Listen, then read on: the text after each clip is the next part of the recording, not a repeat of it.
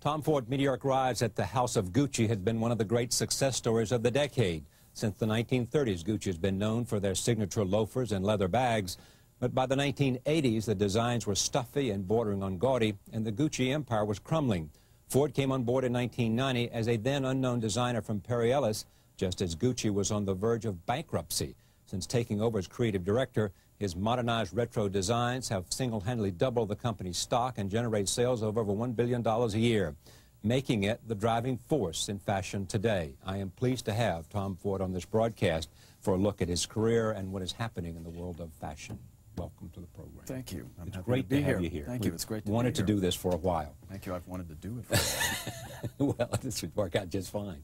Uh, tell me where Gucci is in terms of you've just acquired Yves Saint Laurent. We have. You know, the haute, haute couture is going to sort of stay over haute there. Haute couture has stayed, um, excuse me, haute couture stayed a, a, part of another company called Artémis, which is held by Francois Pinault. Yeah. So that's a, a, separate company at this point. point, and we've acquired uh, everything else that really is Yves Saint Laurent. Uh, along with Yves Saint Laurent, there's a big part of the business which is Sanofi Beauté, yeah. uh, which used to be a part of Sanofi, which is a pharmaceuticals company in France. Uh, and they're really two separate businesses. There's the fashion business, and there's Sanofi Beauté, which is a fragrance and cosmetics business, which uh, the sort of primary uh, or most important brand at Sanofi is Yves Saint Laurent. What does this mean for you and for Gucci? What does it mean? It means we've started uh, our multi-brand, uh, started implementing our multi-brand strategy. It was, it's been our goal for uh, really the past few years, although this was sort of accelerated about a year ago uh, to become a multi-brand luxury goods group. And Saint, uh, Saint Laurent and Sanofi is our first acquisition. We followed uh, right after that, uh, the, the, week right after, with another company called Sergio Rossi, which is a, great shoe company, an Italian shoe company. Uh, that, that, does quite well and, and, we believe has a lot of potential. You led me right where I wanted to go. there are those who say that you might want to buy Versace. There are those who say you might want to buy Calvin Klein. You know, you can't believe rumors in this business. It's amazing. You know, we were just talking before we went on air about Stella McCartney, who's a friend of mine, and you know, yeah. we've been spotted out a few times, and the next thing you know, Stella McCartney's coming to Gucci. I mean, the fashion business, uh, well, I guess all businesses today, really. You know, it, it's hard to stay out of the press. People watch you so, uh, you know, with a microscope. So there are a lot of rumors uh, around. Okay. We are obviously. Looking at other acquisitions. Uh, we have nothing to announce this moment, and we've made no final decisions on other companies. Okay, but so it's a possibility. It's a diplomatic answer. yeah, I know. I want to get around. I want to massage the answer a little bit. Right. It's a possibility you could be looking at Calvin Klein. It would fit in the Gucci empire. Uh, you know, we're looking at a lot of things. And Versace would fit in the same category. We're looking at those that you things. might be looking at. Looking at a lot of things. You know what we try to look at when we when we look for a company, uh, we, we, we try to add value. Um, so we look for companies where we believe that our expertise could enhance the value of that company and thus enhance the value of Gucci Group.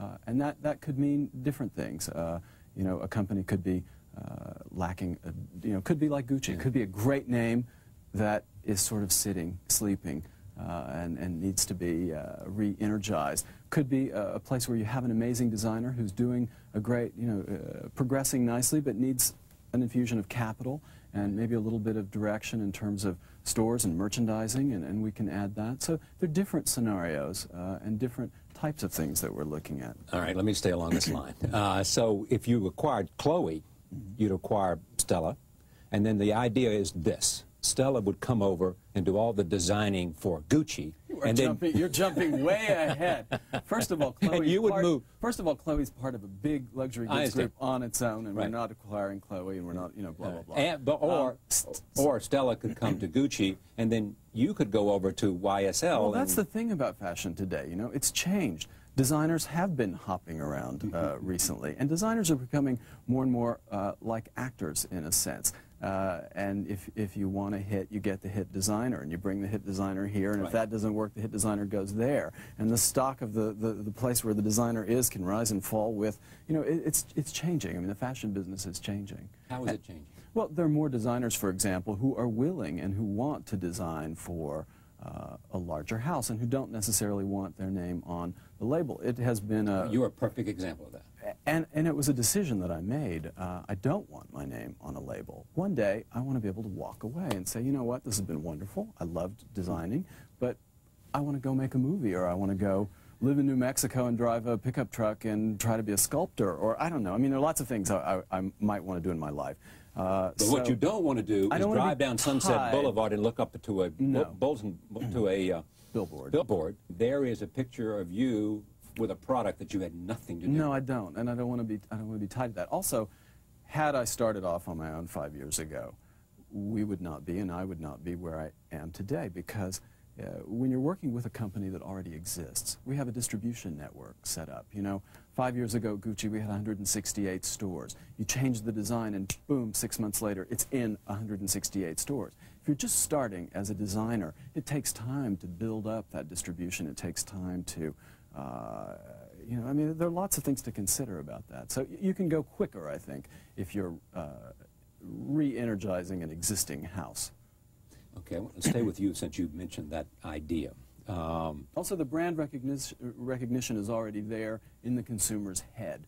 Uh, and that's another thing that it takes a long time to build up an image in the consumer's mind of recognizing a name and associating uh, things with that name. And, and again, with an existing name, uh, that's quicker and easier to mm. accomplish. I let you slip away with Stella McCartney. Is she going to, you want to work with her? I would, would love to slip away with Stella McCartney, as would most men I know who meet Stella McCartney. Yes. Um, anyway. Would you like to have her working with you? I love Stella. Would she be great to run the Gucci design? I think that Stella, first of all, that rumor makes no sense because Stella, as we all know, does not design in leather or fur, and Gucci is a leather house. That's right, right. Well, it's it's also part that. of her upbringing. You could you know, fix that. You could spin she, the leather stuff off. We could.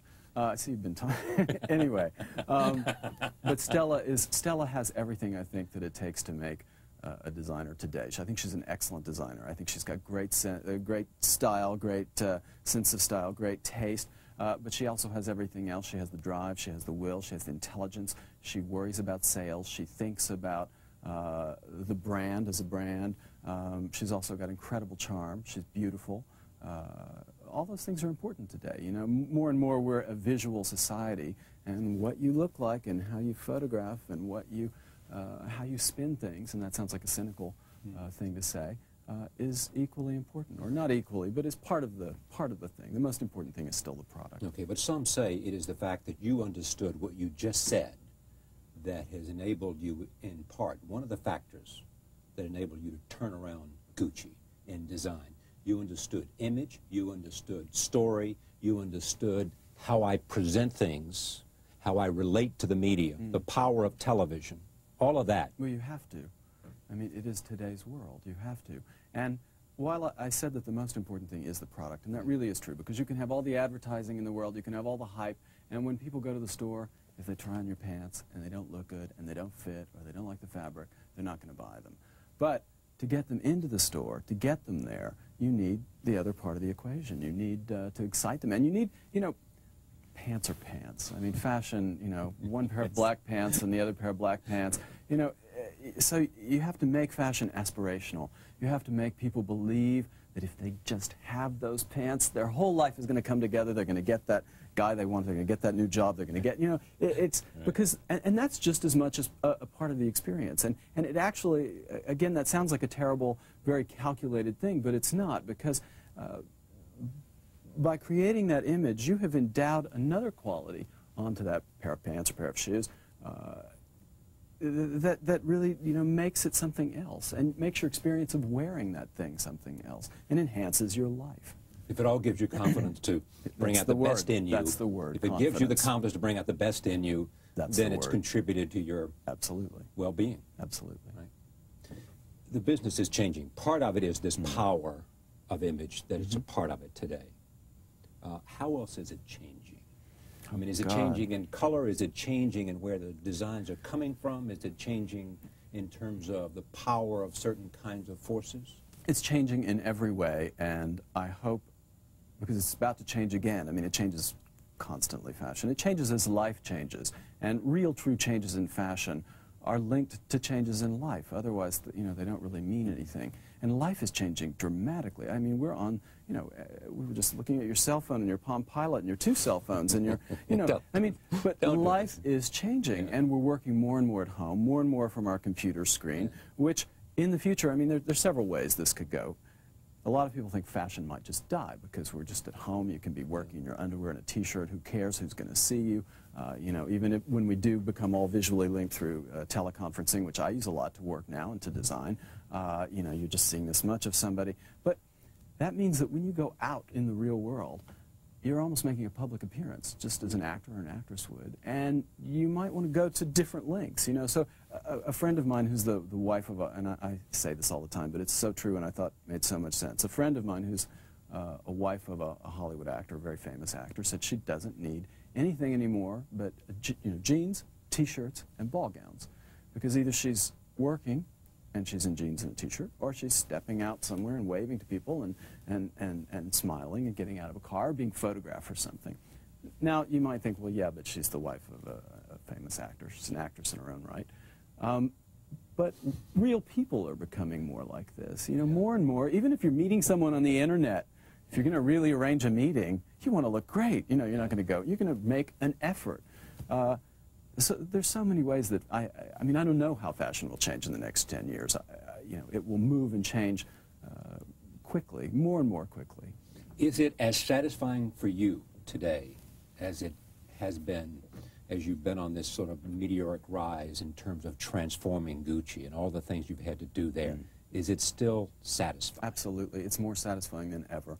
And uh, once I really realized that, uh, I mean, that's the key to happiness is loving what you do. And uh, two or three years ago, you know, I, I, for the last 10 years of my life, I wanted to be a successful fashion designer, and I wanted to have, you know, a hit show and another hit show and a strong business and blah, blah, blah, and all these things that you want in life. And, uh, and I had them. And I became a little bit depressed for, you know, six months. I thought, well, you know, is this it? Is this it? And what am I going to do to sort of get my energy back and to become excited about this again? And it dawned on me one day that I really love what I do and that it's not about money, it's not about, uh, you know, all these other things. It's because I love this. It's something that comes naturally to me. You know, if you leave me alone here long enough, Charlie, I will refinish your table, change the color.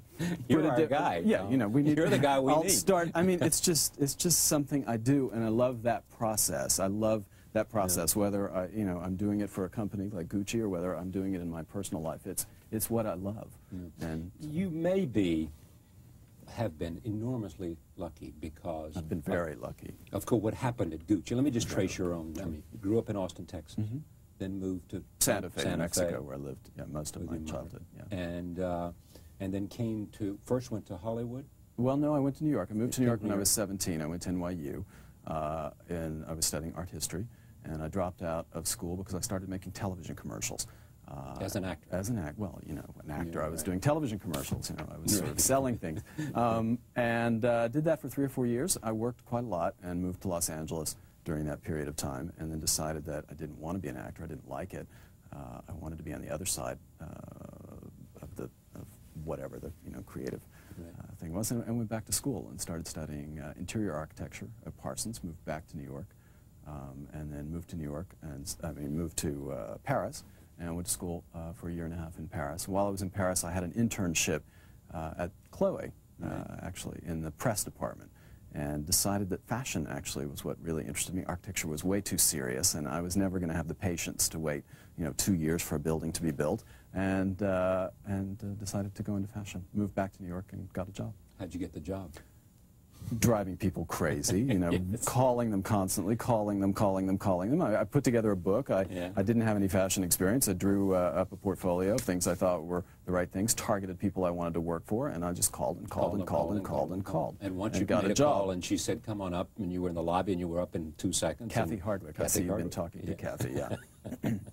and that worked out. It did. And then you went to Perry Ellis. Uh, yeah, I was at Cathy Hardwick uh, for about two years, and then I went to Perry Ellis, and I was there, I think, for about two years as well. It's hard to remember now. And then uh, moved to Italy and started working at Gucci. I realized that I wanted to move to Europe because at that time, fashion wasn't as global as it has become now. It was and, centered in Europe? Well, it is still, to a certain extent, centered in Europe, although less and less so. I mean, really becoming more and more global. But I realized that I didn't think it would be any harder to make it as a fashion designer in Europe than it would be in America. And if you made it in Europe, you were instantly globally marketable. Uh, and that attracted me. And so I realized I wanted to go to Europe and work in fashion in Europe. And I did that in 1990. Who brought you to Gucci? Dawn Mello, a mutual friend of ours, who's a wonderful woman and a great friend. And uh, not only did she bring me to Gucci, she taught me a lot.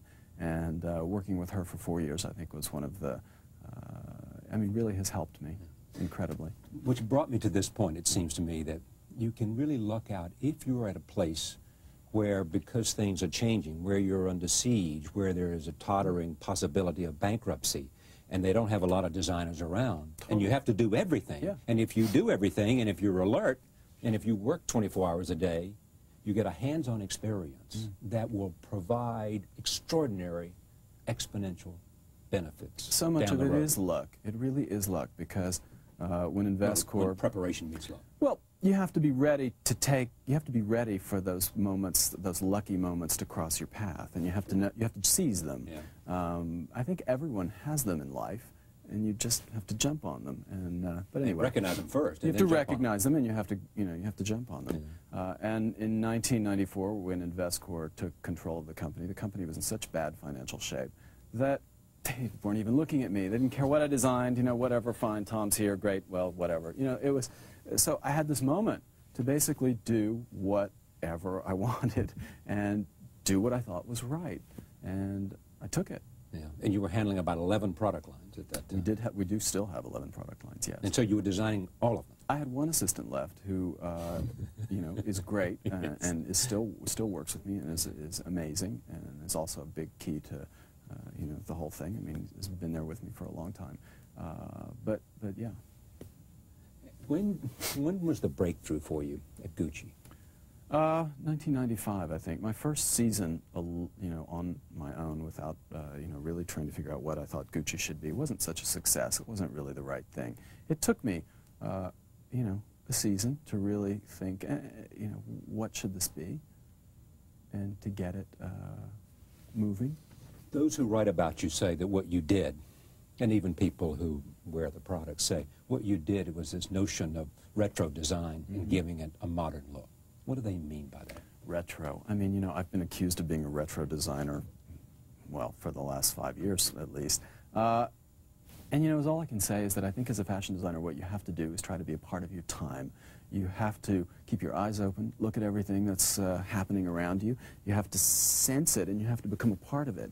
And for whatever reason, I don't know whether it's because my generation grew up with all these television, you know, uh, well, your generation too as well, but uh, you know, my generation's a little cynical, uh, or at least I'm a little cynical, but most people I know, most of my friends are a little cynical, and this, this it, it, it is retro to a certain extent. There certainly are retro influences, uh, you know, that have happened uh, cross-culturally, by the way. This is not just fashion.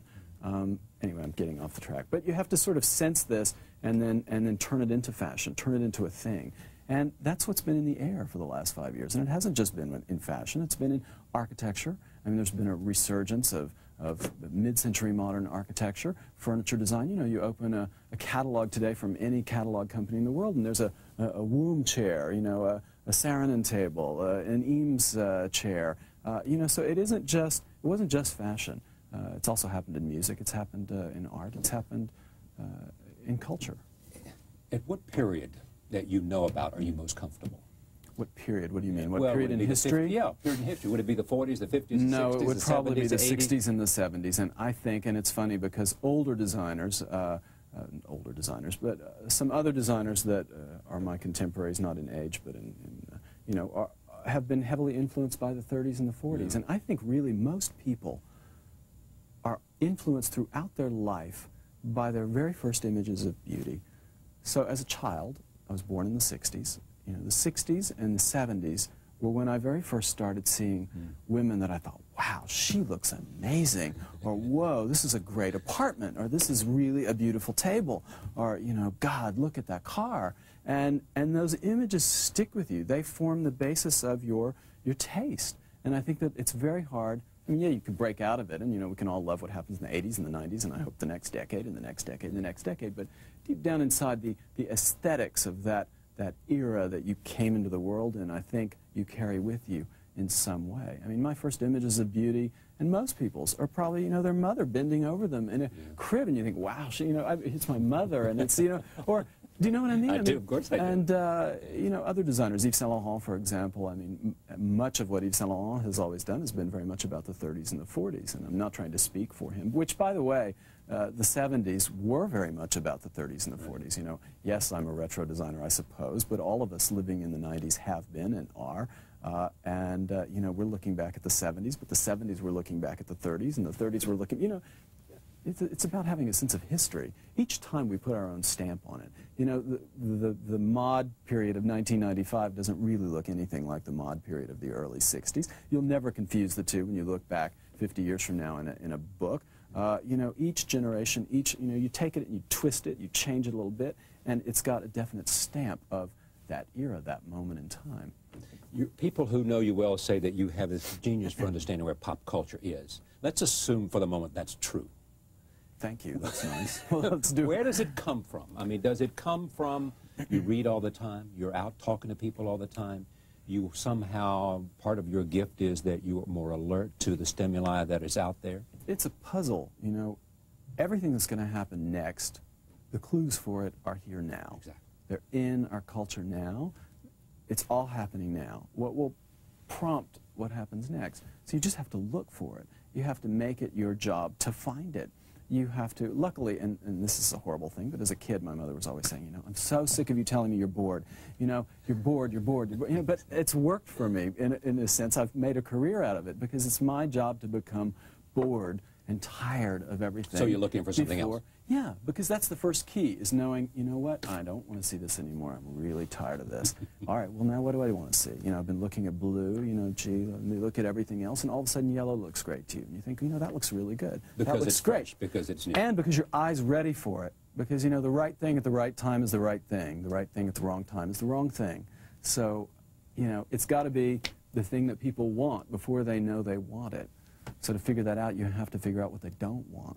Okay, but how does that happen is really my question. You try to look at everything, you try you, to see everything, you try read to every read. magazine, you do all the... Yeah, I mean, I get, you know, literally hundreds of magazines every, and I don't sit and read every article, I don't have time. You know, you skim them. It's like speed reading in a way. You're trying to just fill your brain and with images stuff. connect, and therefore they... Yeah, you know, you try to fill your brain with stuff, and then all of a sudden you think, God, I'm so sick of seeing this stuff. I don't want to see this anymore. And you, you throw it away, and you think, well, what do I want to see now? What do I want there, to see? And that's when you have to look inside, and you have to, part of it is intuitive, and you have to think, I want to see this. And, you know, you're putting yourself on the line. There is this story about you that you sent some of your design assistants, said, go into Target stores. That's true. Go into Target stores yeah. and see what makes you laugh, and see what grabs your attention and figure out why. And How did you hear out, that story? How did you hear that story? Well, we, we talked to those that people. That is really wild. and then figure out what it is they say, mm. you said, what it is that makes you laugh, and then how do we convert it into fashion? Well, what this actually was was for uh, our home collection, our gift yeah. department. Um, and I mean, you can find your inspiration anywhere. Uh, you know, I mean, you can, you can find it anywhere. What happens then? Suppose you're inspired. I mean, let's go back to fashion, mm-hmm. women's clothes, and, and, Target, by the way, and all those kinds of stores fascinate me endlessly. Me too. Because of course, in Europe we don't have those, and I well, they're coming though. time I mean, Europe, Walmart's coming, coming, I know. No, they're coming. But so usually one of the first things I do when I get to America is to go to some giant, you know, supermarket or thing, and just I'm just stunned by, yeah. and, and it changes so fast. You know, I'm here, you know, once a month, but it, it even moves that quickly. Well, you know, and the genius of those it's, people it's was amazing. that not only the genius of those people was the fact that they a they computerized early. Mm. They knew what was selling. They knew as soon as it was going off Absolutely. the racks. They figured it out at the end of the day or during the day, and were able to either to order that which was mm -hmm. hot, mm -hmm. not order any more of the stuff that was not hot, mm -hmm. and then keep looking and keep replenishing. I mean, the speed, speed of delivery speed. between the marketplace, speed. you know, and the creation has just gotten tighter yeah. and tighter and tighter. And more and more important. And more and more important. What is it that you do when I mean, all these ideas are there? I mean, you sit at design meetings mm. and say, okay, we got handbags, we got shoes, we got dresses, we got home furnishings, we got whatever. And we got a responsibility to either satisfy the consumer or lead the consumer. Yes, that's basically what I do. But it's not quite as dry as that. You know, I have, I mean, are you asking me, like, what is my Yeah, right. daily... What is your day? What what is do? my day? Okay. My day varies from day to day. Uh, but uh, a normal week would maybe be an easier thing. Maybe two days of that week I'm working on product. I go from product category to product category. I'll have shoes in the morning at, you know, 8, and then something else at 10, and something else at 11, and blah, blah, blah, blah, blah. And I move from category to category. I work with the design team. I say, look, I think we should do this. This really worked well last season. This didn't work. I'm tired of seeing this. Let's do that. Um, blah, blah, blah. Look at some things, change them. Uh, let's see this in yellow. Let's see it in blue. Let's change the heel. Da, da, da. Go to the next product. Uh, the way we work, and I know it's hard, I'm probably not explaining this properly because, of course, for me, it, it's just second nature. Um, the way we work is, you know, you have to be able to think of what you want to see. You have to be able to draw it or communicate it to someone who can make it. They then make it for you. They bring it back to you. You look at it. You change it, perfect it, send it back. It comes back, send it back. It comes back, send it back. It comes back four or five times until you have the finished product. Right. Once you have that, then you price it, you sell it, and then you manufacture it. And sometimes you have to make some slight uh, modifications to make it be easier to manufacture. Here's That's the, the design part of it. Here's what I'm getting at. We're going to see three minutes of your spring 2000 women's and men's collection. Yes. This took place recently. Uh, yes, spring. When was that? October for women's, actually end of September, and it would have been in July for Uh, spring 2000. So it was, Right. was July for you. Uh, July for men's, uh, September for women's. All right. Take a look at this. Be- before we look at this, Mm-hmm. um, when we see this, have you? How many times do you see it on a model before it makes its way to the runway where Yeah. the buyers and the fashion press see? it? I fit and work on these clothes for three or four months before we actually start working on the show.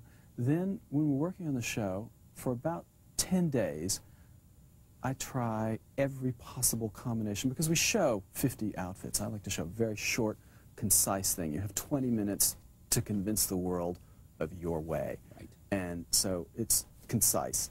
Uh, but there are hundreds of outfits behind these that are in the showroom that I, you know, you try this pant with that shirt, you Polaroid it, you try that with that, you Polaroid it, you try that with that, you Polaroid it. You do this for days and for days. You know, this jacket's great, but it'd be better like this. Let's take the sleeves off. Let's make the sleeves skinny. This doesn't work because her legs need color. Let's get some colored legs. Let's raise her up. No, she's too, let's change the shoe. Let's do, and you do this and you Polaroid and Polaroid hundreds and hundreds of Polaroids.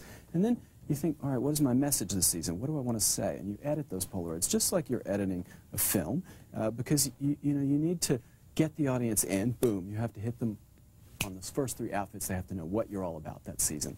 Then you have to take them through. You have to make them think, wow, you know, you have to, once you've sold them on your initial idea, then you have to show them the subtleties of it. You have to let them see the fabric. You have to let them see, uh, you know, the cut, the shape, the color. Uh, and then you have to, you know, you sort of take them up like this. You do it with music as well. And then you have to finish with something equally strong that reinforces and drives home your idea. So it's something that's very choreographed and very worked out. Then you have fittings. Once you've done that and you've decided these are the 50 things I'm showing or 45 things I'm showing, you have the girls come up. Yeah. They try them on. You fit everything to them. You change them around because some people look good in some things and Yeah. some people don't look good in some things. You fit everything. You make every. I mean, then we rehearse them. We walk the girls. We videotape it. We film it. We look at it. You know, it's a, it's, it's, it's not. You know, a lot of people think you're just throwing clothes on girls back there, and they're just coming out looking that way. It, it's not what happens. The devil is in the details and the opportunities Absolutely. in the details. For you, for you, the designer, is the great moment, the most exhilarating moment when they walk on stage and you get the response and then you come on stage at the end? Or is it way back earlier when you had the brilliant idea to do whatever it is you wanted to do? Or whether you had the concept that, uh, that this is what spring 2000 is going to be It's for us? both of those. The first moment usually happens at 3 in the morning with a box of cookies and a big bottle of Coke and my Walkman on. Yes. And you think, yes, That's that's, it. that's, it. That's it. That's it. That's it. But you can be wrong. You can be totally wrong.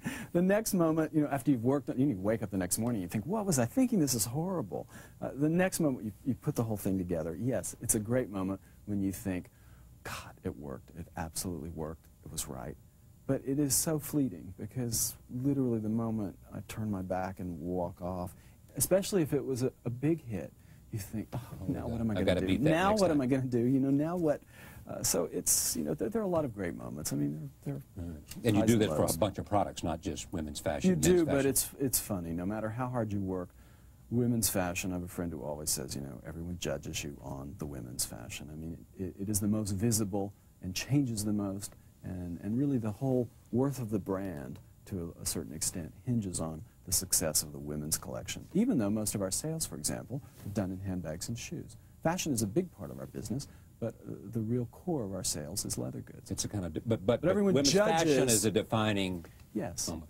Is this part of the reason, part of the reason that you, that Yves Saint Laurent is such a hero for you? Oh, Yves Saint Laurent really uh, is responsible for the way that modern women dress. And it really hasn't changed. I mean, he really put women in pants, uh, made women sexy in a modern way. I mean, women had worn pants before Yves Saint Laurent put them in, in a pantsuit, but not, you know, it hadn't really been accepted. And women wouldn't have worn pants in the evening and pants to the office. And, you know, uh, really invented the way of modern dressing for women.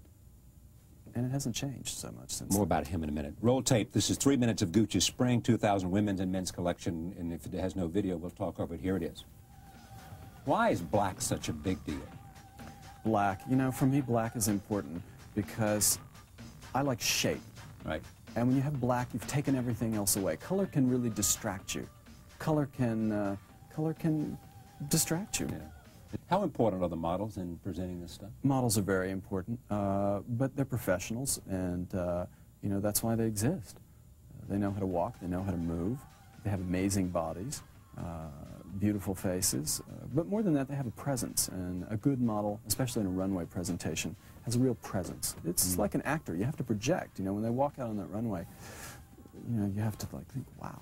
Wow. And that makes it easier because, of course, you know, any type of clothing looks better on someone that's beautiful. So it helps sell your product. Who determines whether this collection we're seeing mm. is going to be successful? In the end, it's whether people buy. In the end, it's whether people buy. whether people buy. Well, most of our business is done through our own stores, so our buyers uh, control that. And I have had collections that were maybe not as strong uh, in the press, maybe not my best press collection, but that have been the best sellers. Why is so that? In the end, well, it's because they're looking for two different things. As I just said, black continues to be one of our number one selling colors. Editorially, no one wants to shoot black right now. That's changing. I mean, we're selling more and more color and less and less black.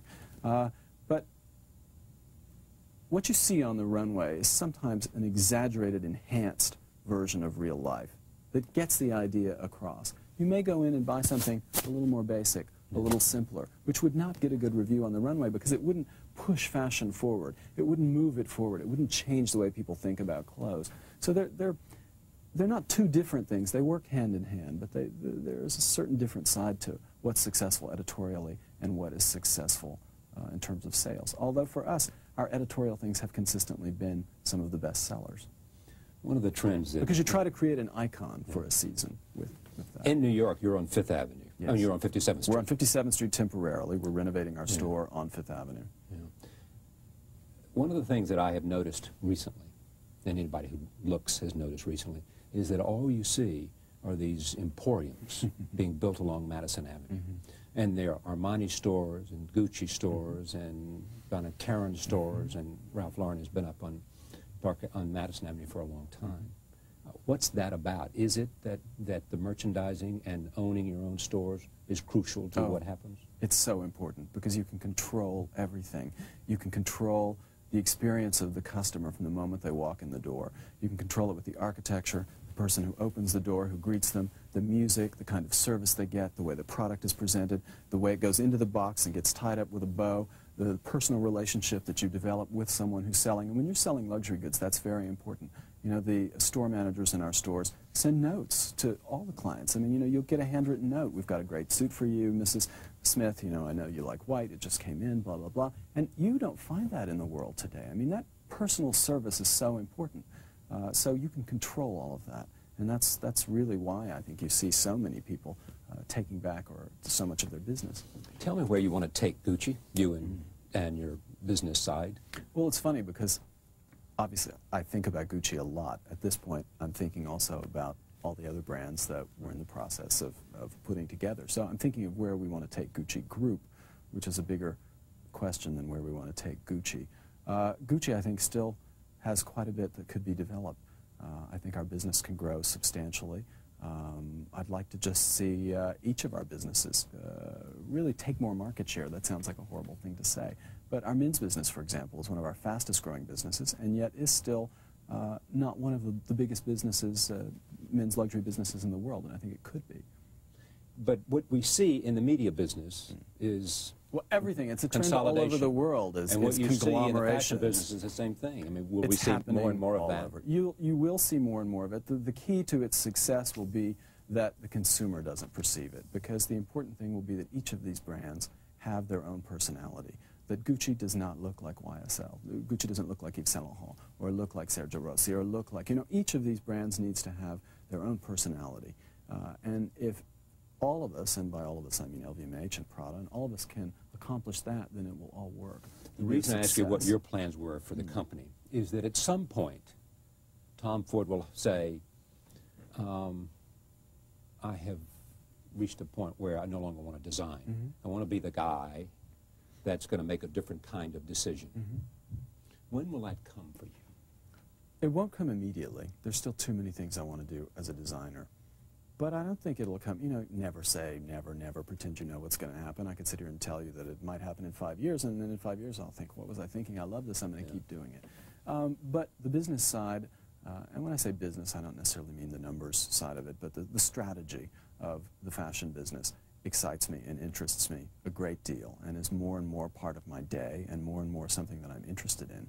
Uh, and there will come a time when I'll think, you know, I don't want to compete with these 22-year-olds who really have a better pulse on what's happening in fashion. Uh, I don't want to be struggling, you know, at a, a, certain age thinking, God, you know, is this right? Is this right? When really I should step back and should, you know, so there, that will happen at some what's point. the biggest, what's the toughest thing about what you do? Oh, God, a lot of it's tough, but it, it uh, is constantly coming up Looking with... for what's new. I'll tell you what it is. It's, it, you feel sometimes completely drained because you basically sell your personality to a certain extent. You know, I walk down the street sometimes and I see people with my haircut and my clothes. And I go into the Gucci store and I see my furniture because, you know, the furniture in the Gucci store came from my house. I thought, this is great. I love this look. We're going to do this. You know, this is going to... You know, but you created you, that because yes, Tom Ford is what you are selling. You, you were in the end are selling Tom Ford even though your name is not a label name. I'm selling a mix of Tom Ford and Gucci. Um, but you know, constantly you have to come up with these new things. So every day people come to you, what, you, what should we do next? What should we do next? What should we do next? What should we do What's next? What's this? Thing? What's that? What's that? And at the end of it all, you can feel almost like you've just been, you know, completely drained. And, and so that's the hardest thing is to constantly excite yourself enough to come back and say, okay, this is next, you know, this is next, this is next, this is next. Because it's, it's, it's exhausting. There is talk, you spend more and more time in Los Angeles. I love Los Angeles. What is it about Los Angeles that intrigues you? Los Angeles, well, there are many things about Los Angeles that intrigue me, but it is really one of the only completely 20th century cities, and now we're about to leave the 20th century, so maybe that won't be as important. Uh, 20th century cities in the world. Uh, I love architecture. I think Los Angeles for residential architecture has got to be one of the most amazing cities. I mean, all the great 20th century architects uh, were working and really are responsible for the way Los Angeles looks.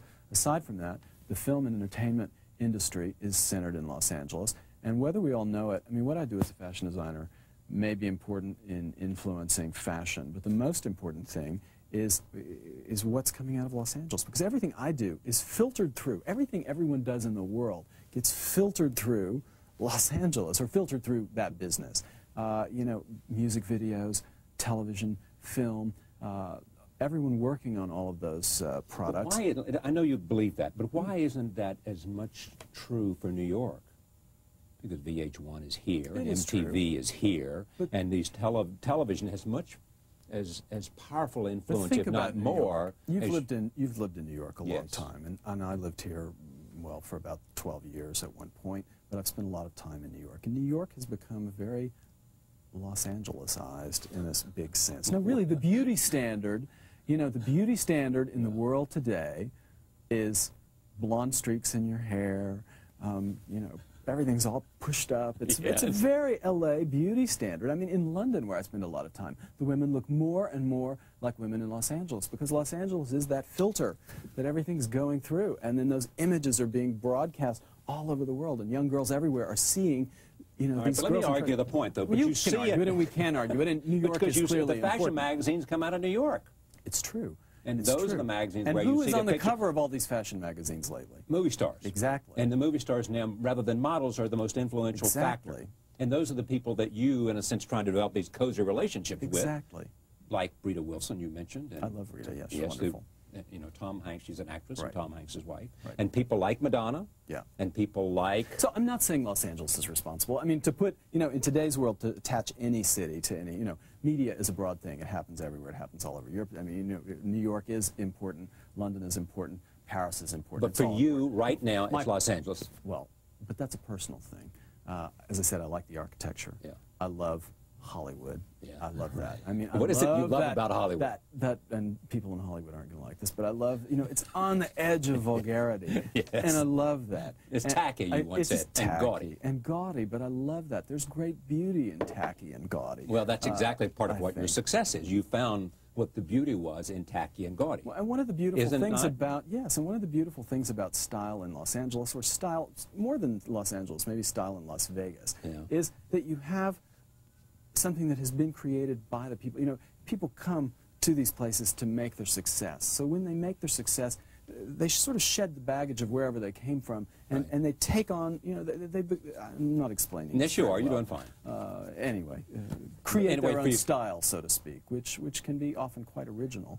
Yeah. Does that mean that the fashion business is moving more so to America than No, it I- to Milan and from Milan and all those other places? American culture is really slowly taking over the world. And Europeans won't necessarily like that, but I mean, it's true. And the I mean, French will like it least of all. Least of all, but it's true. American culture, uh, even if things are, you know, even if creative things are coming out of Europe, they're quite American style products.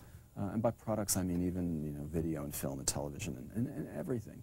Uh, How much of the draw of Los Angeles is the fact that somehow in the back of Tom Ford's mind is that he may decide, having done everything that he ha- can do at Gucci, both in terms of strategic planning and design and running a, you know, a, a multi-billion dollar company, what he would like to do now is to direct films, bring all of this sense of culture and style and and feeling for the pulse of where young people are to film. I think film is the ultimate design project, and I did say one time I'd love to direct a film, and I probably shouldn't have said it because, of course, I have no experience directing. No, no, You know, that's I don't not know anything point. about it, but it's fascinating because what I do in terms of design, the You have an agent from one of the largest agents. He's a friend. He's not really my agent, Bryan Lourd. But uh, anyway, um, he's a friend. He's a, pers- good personal friend, and I'm too busy to. He's looking you at projects for you. Come on. No, but uh, anyway, I'm quite involved in what I'm doing at the moment, Yeah. and it's taking all my time.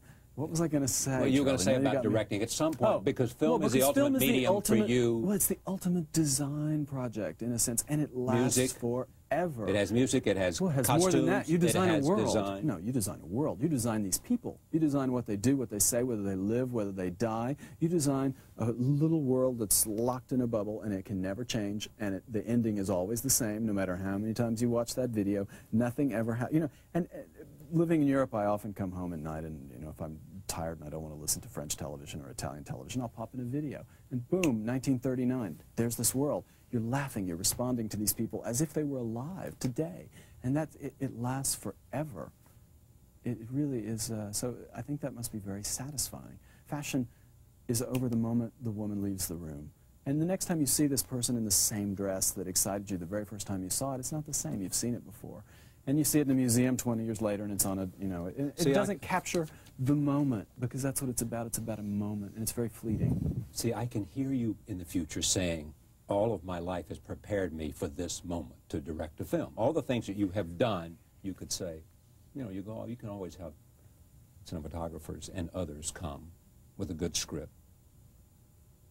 You can get involved in projects. I would be something I'd be incredibly interested in, but not anything I'm interested in the near future. I've made a commitment to being where I am. I love what I do, and there's still a lot to do here. Uh, from a design standpoint, mm -hmm. where are we headed as we go wow. into this next century? Everything that we've done in the 90s is just, it's finished, it's over, and I really feel that. And I don't feel it just because we're hitting this year 2000, but you just feel the end of a cycle, um, and, and that's over.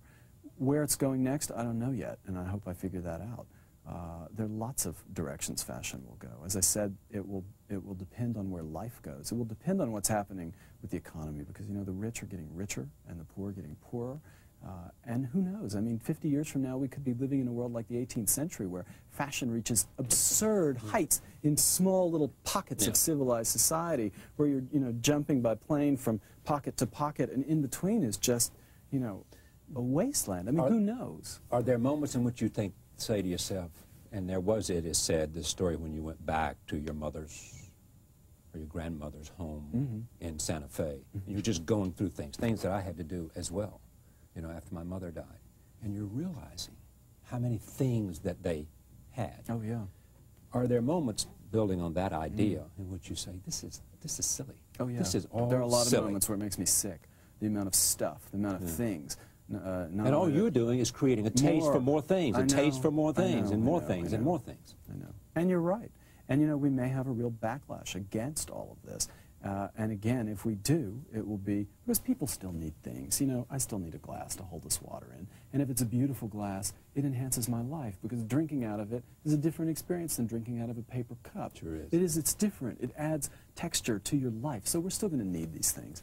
But there may be a real backlash and we may become much more conscious of, you know, less waste. And, and, and if we do, and this sounds like a really sick thing to say, but it will be our job or the job of the luxury industry to, to adapt to that, you know. Trends change, fashion changes. Right now we're in an extreme over-the-top mode. Clearly that's going to swing back and we're going to have whatever the new version is of what happened in the early 90s after the stock crash in the 80s. It's sort of pared down. You know, I'm not saying we're going to that, because it'll be different this time. But clearly we will have that. Who has influenced you the most? Did, obviously your mother had a significant influence. My mother, my grandma, uh, my, my parents, my father. I mean, I had, I had great, you know, as a kid, growing up, like a lot of people probably you think, oh God, you know, I hate this, I hate that, I'm not happy, I want this, I want to move to New York, I don't want to live here in, in Santa Fe, New Mexico, you know, I want this, I want that. Looking back at it, I had the most amazing childhood. I had probably one of the most perfect childhoods of anyone I know. I had two parents that loved me and supported anything that I wanted to do and, and really gave me so much. And everything I have in life I owe to them and to what they you know, instilled they in me. They made you believe kid. in yourself or gave you confidence? They gave me so much. They gave me, uh, you know, uh, a moral sense, and by moral I don't mean anything to do with sexual or, you know, I'm talking about sort of a, a real sort of solid sense of myself as a person. They gave me confidence. They taught me how to, to treat other people and to, uh, how to react with other people and, and what was important in life. And, and uh, I mean, I, I, think about things that, you know, I can hear them. it's like a broken record in my head often, but I had a wonderful childhood. And that, you know, I am so lucky, and, and a lot of people don't have that. And uh, it gave me a foundation. You weren't an athlete in high school. By high school, I was an athlete. what, what, what, in, early in sort of, period. in sort of, you know, eighth, eighth. By the time I was in the eighth grade, I became an athlete. Yeah, when I was younger, I had asthma. I was sort of, you know, I would rather stay home and rearrange the furniture than play football. It's true. Uh, by the time I was uh, maybe 12 or 13, I was playing tennis and skiing a lot. I was on the ski team in, in, in high school and yeah. tennis team, and I was more athletic and uh, had sort of whatever. Do you ever dream that it would end up like this? Did you know? Did you, know, you sense that you would somehow make a difference? Well, I don't know whether I've made a difference. That's a, you know doctors and within your own realm. People doing you know there are a lot of people doing more important things. Well, that's, no, designing it's not a, dresses. It's not no, no comparison. But, it's a question. Yeah, I felt an incredible sense of drive to accomplish something. Maybe it wasn't so focused as a kid. I didn't know exactly what it was going to be. I knew, you know, I wanted to, I wanted to do something, and, and I, have always had a, a great sense of drive even Nobel laureates who've come to this program, not one has said the reason I achieved so much was because I was smarter than everybody else. Mm -mm. They all say it was because I had drive, energy, and wanted it more. And maybe I was naive, or maybe I'm still naive, you know, Th- that ability to say, oh, I can do that, you know, sometimes is quite foolish. And if you're smart, you think, I can't do that. I don't know anything about that. What, what the hell, what am I thinking? But that drive can, you know, it is, it's drive, as you just said. I mean, the drive can sort of overcome that, and you can learn and figure it out. Uh, things that you might looking, that's why I think, you know, so many people, uh, it's your, oh, this sounds silly, I'm not even going to no, say, it. Well, I was going to say it's your youth, but of course, clearly I'm still in my youth. But even looking back now at what I was doing in my 20s, I'm not sure I would have had the, have the strength now to do some of the things that I did earlier on because I was kind of stupid and naive. And had I not, you know, had I really known what I was getting into, I would have said, Or if you knew. you know, you shouldn't, you shouldn't do this. And, and probably 20 years from now, I hope I'll look back even at now and, and say the same thing for is you have said, I mean, it, you know, it made you've been announced that you were a gay man for in the press um, and have a relationship with a uh, journalist that lives in Paris.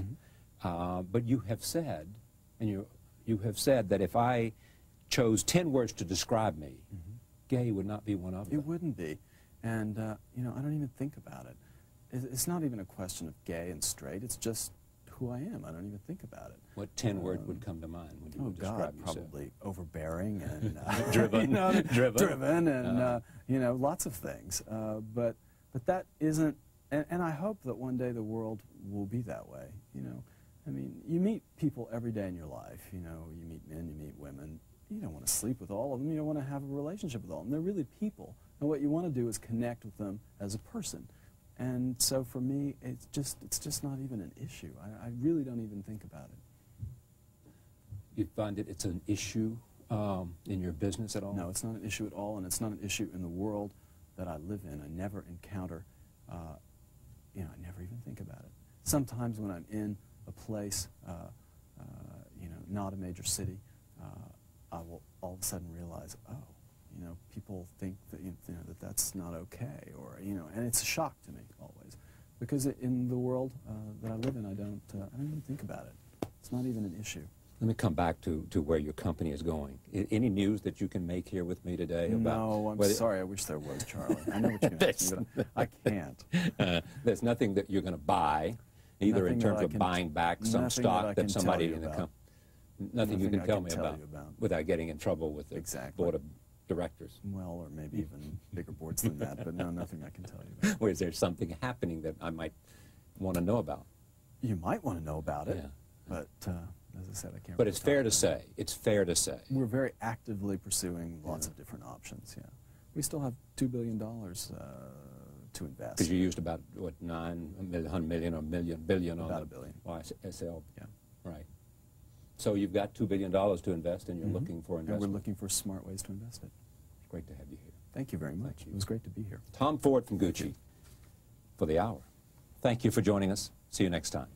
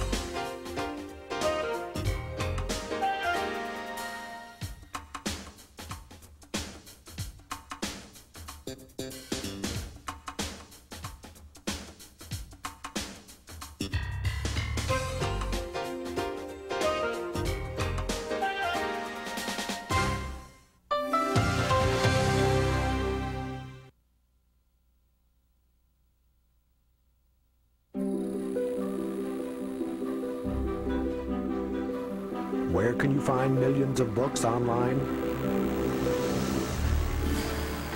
BarnesandNoble.com. Over 70 million people are getting an education. on the internet this year. Are you ready? Virtually all internet traffic travels across the systems of one company, Cisco Systems, empowering the internet generation. DLJ Direct is proud to underwrite Charlie Rose. DLJ Direct, the thinking of a Wall Street investment bank, combined with the speed of the Internet. Donaldson Lufkin and Jenrette, putting our reputation online. Charlie Rose is also made possible by these funders.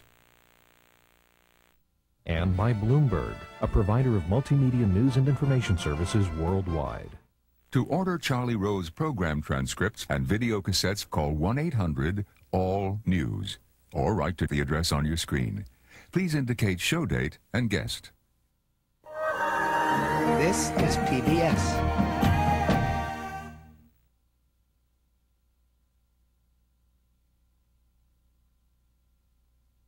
Politicians, business leaders, scientists, authors, artists, the people who do know, the people you should know. Tonight on Charlie Rose.